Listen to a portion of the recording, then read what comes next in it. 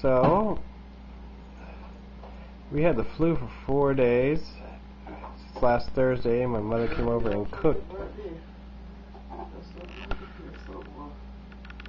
That's right.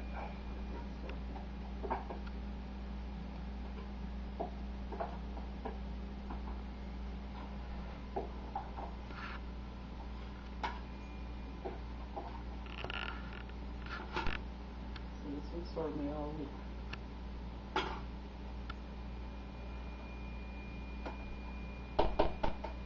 Good.